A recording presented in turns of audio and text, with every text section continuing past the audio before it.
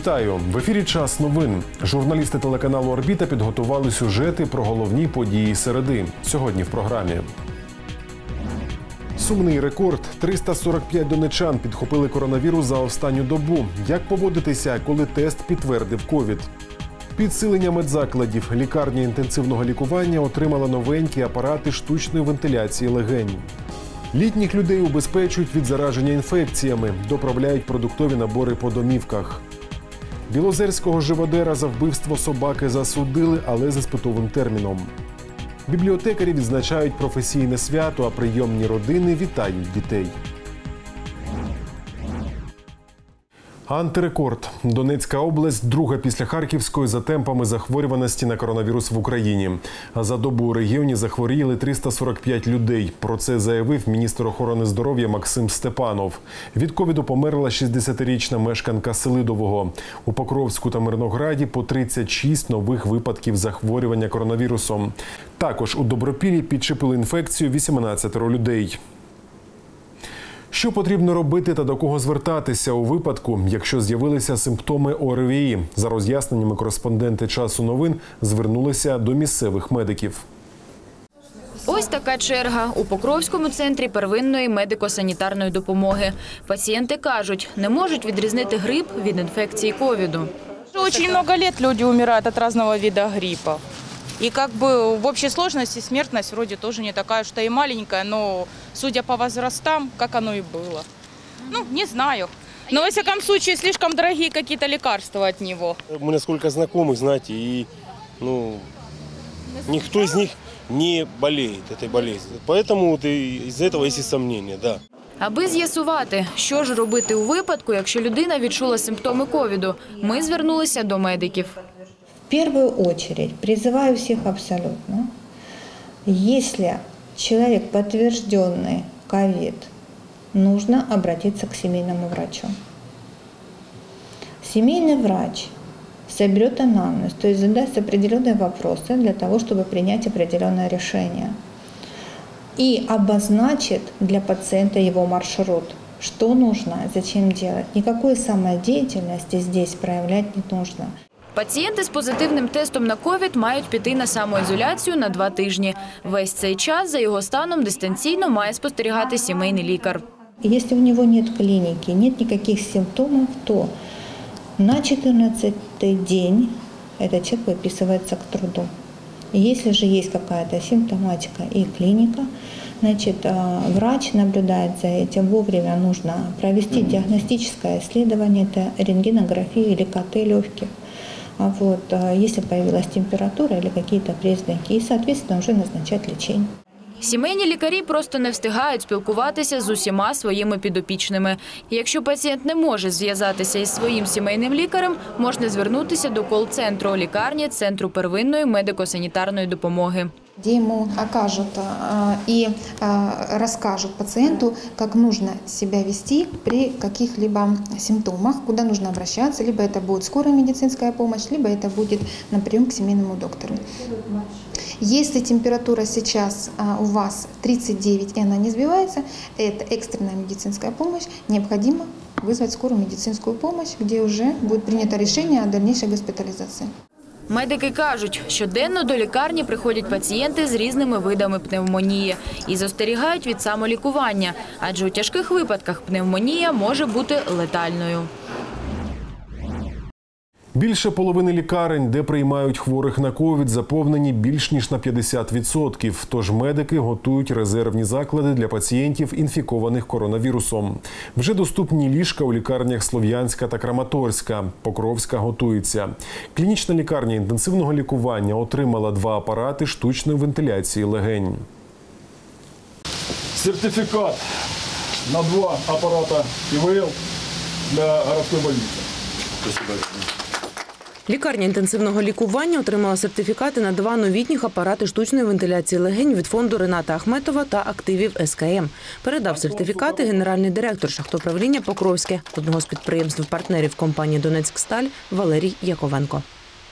С февраля 2020 года фонд Рената Ахметова обеспечит врачей, которые находятся на передовой, борьбы с коронавирусом самым необходимым. Ключевым элементом помощи стране стала закупка для государственных больниц свыше 200 э, суперсовременных аппаратов ИВЛ.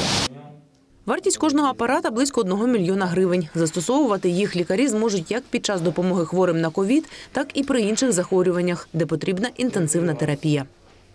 Ми не знаємо, скільки буде пацієнтів. У нас 25 коєк, да? але ми знаємо, що коли, деколи е, ріст захворювань вони не контролюються. Відповідно, нам постійно буде потрібна апаратура, і ця апаратура вона буде в нагоді. От маленьких деток уже можно их использовать, оказывать помощь. Это говорит о том, что это ну, надежда на помощь и надежная помощь любым заболевшим, те люди, которые будут сюда обращаться. Апарати новітні, тож напередодні медики, які мають з ними працювати, пройшли спеціальне навчання та інструктаж безпосередньо на робочому місці. При ковідних больних завод рекомендує ставити три фільтра вам. Два бактерицидных и один теплолагодин. Есть также экстренная вентиляция. Вы здесь указываете пол и пошла вентиляция. От завода стоит даль- ну, в дальнейшем можете У нас є апарати, які ми вже опробували. Я думаю, що ми розберемося в цих апаратах. Також будуть вони використовуватись з повними режимами, з усіма можливими його режимами роботи. Лікарі кажуть, пацієнти мають отримувати якісну медичну допомогу за місцем проживання, а благодійники цьому допомагають. Рятувальники інспектують місця, де наприкінці жовтня відкриються виборчі дільниці. Згідно розпорядженням Центральної виборчої комісії, всі об'єкти мають пройти перевірку на дотримання правил пожежної безпеки та наявність засобів пожежогасіння. Як це відбувається, бачила Наталія Мовчан.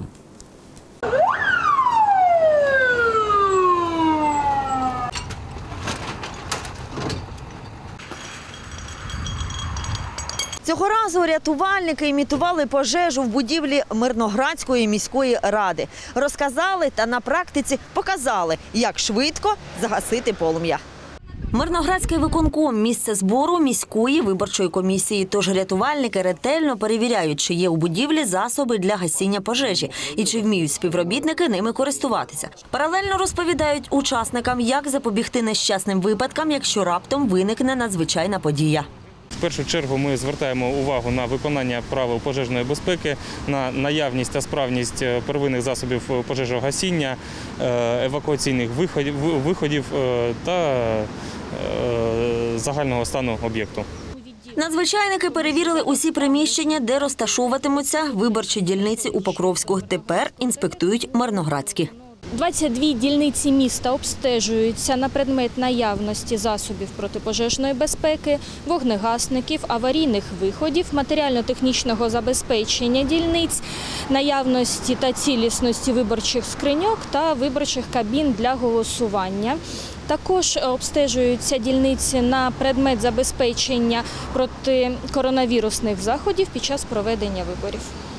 На території Покровська та району працюватимуть 80 виборчих дільниць. Усі перевірки рятувальники планують закінчити за два тижні. Від головного управління е, буде залучено 109 чоловік особового складу 9-го ДПРЗ під час виборчої кампанії е, та 6 одиниць техніки. Це 5 автоцистерн та однієї пересувної електростанції. Вже перевірено е, 53% об'єктів, на яких планується розміщення виборчих дільниць. Учасники навчань сподіваються, що вибори відбудуться безпечно, щоб на результати не вплинула жодна надзвичайна подія. Понад 4 тисячі мешканців Покровська та району старші за 65 років отримали продуктові набори від благодійного фонду Надія. Так, благодійники турбуються про літніх людей під час пандемії, щоб зменшити їхню необхідність виходити з власних помешкань. Галачук Петр Станиславович и Галачук Антонина Львовна. Это продуктовые наборы от благотворительного фонда «Надежды». Большое спасибо. Большое, что вы нас не забываете. Конечно. Петру Станіславовичу та Антоніні Григорівні 82. Вони практично не виходять з двору. У період пандемії старенькі побоюються великого скупчення людей. Продукти першої необхідності стареньким приносить донька. А коли на порозі побачили представників благодійного фонду Надія з продуктовими пакунками, приємно здивувалися. Это очень приятно Во-первых, это очень приятно, что нас не забыли. Дехто з людей похилого віку, які нині хворіють на сезонні інфекції, взагалі не мають змоги вийти за покупками. Тож візит волонтерів розчулив пенсіонерів чи не до сліз. Эмоции такие, что хочется плакать от такой обстановки. Это ж дополнительное. Это хорошо, что нам какая-то забота чувствуется. Сусіди Тамари Алєксєєвої зізнаються, прожити нині на одну пенсію вкрай важко. Про повноцінне харчування взагалі не йдеться, тож раді будь-якій допомозі благодійників. Помощь хорошая, потому что продукты, они обязательно нужны. Пойдешь в магазин, все дорого. Я медик сама, да. Я понимаю, что надо соблюдать все правила, что нам советуют, что- и я соблюдаю. Я получаю набор этот э, не первый раз. Набор очень большой, разнообразие большое, да. Такі продуктові набори отримали понад 4 тисяч жителів Покровська та району. Волонтери відвідали кожного особисто, хто старше 65 років. Мы всячески стараемся поддержать э, эту социально незащищенную э, часть нашего населения. Многие из них сами не могут производить покупки, многие болеют, э, многие просто э, некому помочь, просто они остались одни, и мы своими силами пытаемся их поддержать, силами благотворительного фонда «Надежды», э, этими продуктовыми наборами. Э, Это маленькая часть того, что мы можем сделать, но мы пытаемся это и делаем. Увага та турбота про літніх людей для благодійного фонду Надія завжди була у пріоритеті. А у часи пандемії це стало однією з головних місій. Живодера з Білозерського, який насмерть забив дворову собаку молотком, засудили. Розправа над твариною сталася пару місяців тому у дворі п'ятиповерхівки. Чоловік жорстоко знищив собаку, улюбленицю місцевих дітей, і викинув її на смітник. Сусіди повідомили про цей злочин поліції. Правоохоронці провели слідство за статтею жорстоке поводження з тваринами і передали справу до суду. Там врахували, що у чоловіка двоє неповнолітніх дітей і пом'якшили покарання. Винуватця засудили до одного року обмеження волі з іспитовим терміном на два роки. Продовжуємо випуск. Далі такі теми. Родина переселенців взяла на виховання 11 дітей. Англійською, німецькою та китайською бібліотечні фонди Донеччини поповнилися сучасною літературою. Або вмикай фари вдень за містом, або плати штраф. Поліція нагадує правила і загрожує покаранням. День усиновлення відзначають в Україні 30 вересня. У прийомних родинах Покровського району нині виховують 41 дитину, які залишилися без батьківського піклування. Для таких родин у селі Новоекономічному влаштували свято з подарунками.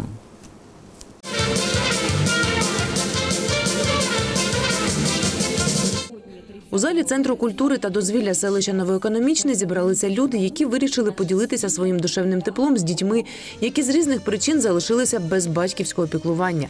Дехто взяв на виховання одного чи двох знедолених діточок, інші більше. Ми м, приемные з 2008 года. 2008 года. У нас сразу трое появилось. Потом еще один мальчик. Ну и пошли, пошли, пошли. В этом в про- в прошлом году мы стали детским домом семейного типа. Всего у нас наших детей уже 15. Вот 16 будет завтра. Двое деток, э, которых э, я опекаю э, уже 6 лет. Так случилось, что была необходимость это сделать, и я решила, что нужно это сделать, и взяла детей. До дня всиновлення прийомним дітям влаштували свято з піснями і танцями.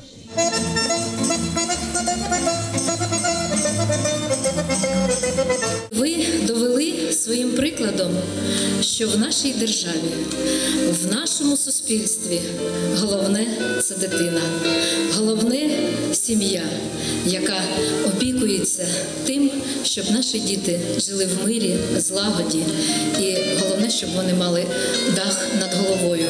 Ще шестеро дітей-сиріт та позбавлених батьківського піклування з Покровського району залишаються у державних закладах. Сироты были всегда, во все времена, к сожалению, да. И всегда находились те люди, которые брали их себе на воспитание, которые дарили им свое тепло. Есть э, труженики села, есть труженики столевары, труженики всех профессий. Но я бы э, всех матерей, которые усыновляют деток, поставил бы с ними в один ряд, потому что это настоящие герои, это те герои, которым искренне надо кланяться в пояс. За відповідальне виховання дітей у сім'ї прийомні батьки отримали від райдержадміністрації подяки, грамоти та цінні подарунки.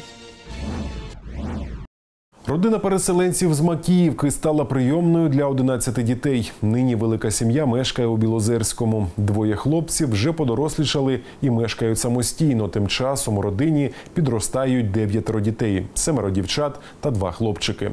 У гостях побувала знімальна група телеканалу Орбіта. О, все, красавица? Все, плетем, значит. Дайте резиночку.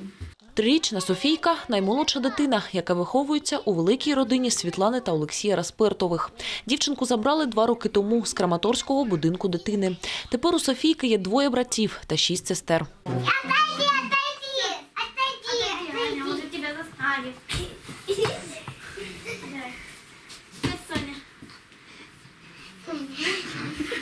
Діти у Олексія та Світлани дуже творчі. Дівчатка займаються танцями, хлопці теж танцюють та ходять до музичної школи. Вдома майже ніколи не буває тиші, каже Світлана. У каждой семье свои, э, может быть, э, в нас чем-то дети становятся. Вот как э, получается, выбирается ребенок под нас. Вот. э, И они все, они все у нас очень талантливые. Они э, любят, они и танцуют, они и выступают, они рисуют, они все. И вот им надо постоянно в движении, в движении, в движении, сидеть на месте они не могут. Зараз перші двоє прийомних хлопців Распиртових вже дорослі та мешкають окремо. У родині зростають дев'ятеро молодших дітей. Четверо з них з однієї сім'ї. Їх забрали від матері до центру психологічної реабілітації, а потім передали подружжю. Інших забирали з різних інтернатів. И у нас дома. Да. И у нас есть папа. Прийомні діти Світлану та Олексія називають виключно мамою і татом. Один одного вважають братами і сестрами. Кажуть, жити у великій родині весело та легко, якщо відноситись до інших з повагою. Ну, игрушки берем, разлаживаем, какая кому нравится, тот себе и берет. 13-річна Мирослава найстарша з дітей у родині Респиртових. Дівчинка допомагає батькам та піклується про молодших братів та сестер. Я допомагаю мамі і дивлюся за молодшими братами та сестрами. Коли треба, сходжу за ними до школи, на танці. Помагаю. Світлана і Олексій одружені 18 років. Власних дітей вони не мають. Тож 9 років тому вирішили стати батьками-вихователями. Світлана тоді працювала в інтернаті та часто бачила дітей, позбавлених батьківської любові, але навіть не уявляла, що невдовзі стане багатодітною мамою. Я не, не могла себе представить, как это будет все происходить, как это возможно, ну, как это все я смогу делать. З появою першого хлопчика у житті подружжя жінка зрозуміла, що може піклуватися і про інших дітей також. З того часу родина почала поповнюватися. Світлана зазначає, піклування про дітей це сенс її життя. Это не для меня все. У нас своих нет, родных нет, поэтому эти для меня это все. Я их настолько безумно люблю, что всех. Да, бывает, бывает злюсь, бывает обижаюсь. Ну, каждый, я думаю, и на своих также бывает. Но они для меня все. Все, я их всех очень-очень люблю. На тисячу одну книгу поповнилися бібліотечні фонди Донеччини. Такий подарунок зробили Центр українських технологій за підтримки Міністерства інформаційної політики. Серед переданої літератури книги сучасних авторів, зокрема, історія політичного в'язня Олега Сенцова, історичні книжки про становлення держави та інші книги українською, німецькою, англійською, французькою, естонською мовами і навіть китайською, які нині користуються чималим попитом. Ці книжки дійсно різними мовами, але незмінним залишається одне їхні українські змісти і їхні українські сенси. Я сподіваюся, що вони допоможуть назавжди залишити тут Україну Україною. Передачу книжок бібліотекам Донеччини приурочили до професійного свята бібліотекарів, яке вони відзначають традиційно в останній день вересня. Знімальна група орбіти вирішила поцікавитися, чим живе Покровська бібліотечна система та як там все влаштовано зсередини.